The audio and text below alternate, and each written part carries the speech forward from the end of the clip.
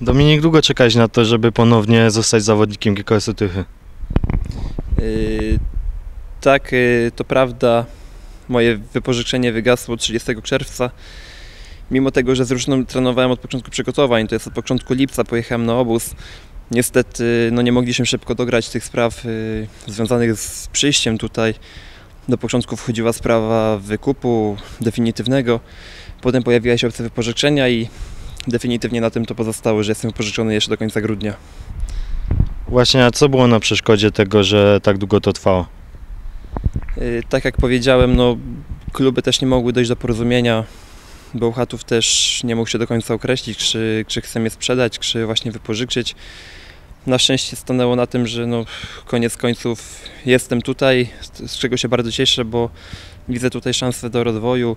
Mam nadzieję, że, że, że nasza współpraca nie zakończy się po tym, po tym, po tym półrocznym wypożyczeniu.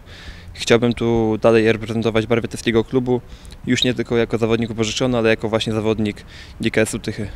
Właśnie nie jest to chyba dla Ciebie komfortowa sytuacja, że jesteś po raz kolejny wypożyczony, a nie jest to transfer definitywny. Yy, tak, to prawda, bo zawodnik, jeżeli nie ma komfortu psychicznego, ciężko też się skupić na, na aspektach sportowych.